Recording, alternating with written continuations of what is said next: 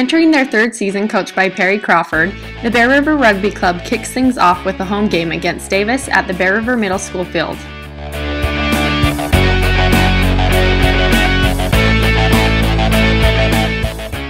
In the past two seasons, the Bears have surprised other teams with their tenacity and endurance to finish the game no matter the score or strength of their opponent.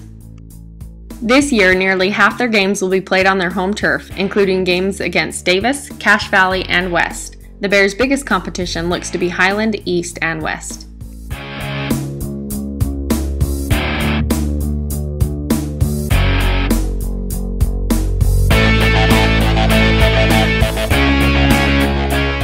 This year's young team is made up mostly of sophomores and has a few strong returning players who look to lead the Bears.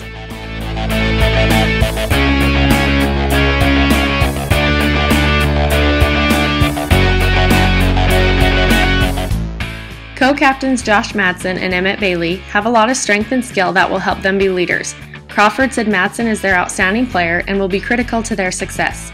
Bailey also returns after having broke his hand last season. He is known to take on kids twice his size.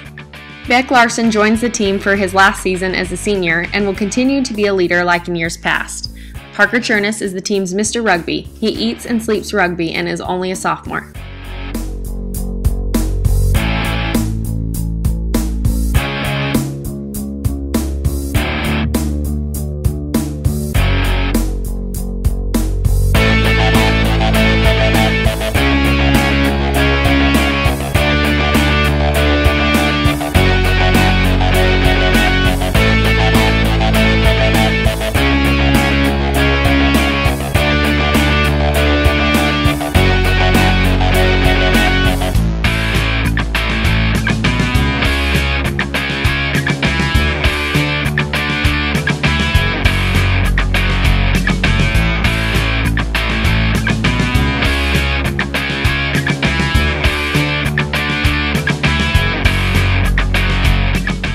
Be sure to check out some of their home games to become more familiar with the great sport of rugby. Golden Spike Burgers offers a great menu, including burgers, fries, and euros.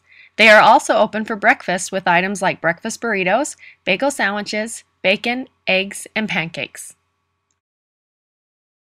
Golden Spike Burgers is now serving Peach City ice cream, a delicious way to buy local. Stop by the Garland location for ice cream, waffle cones, sundaes, and banana splits. Golden Spike Burgers, where they have the best burgers and ice cream all in one place.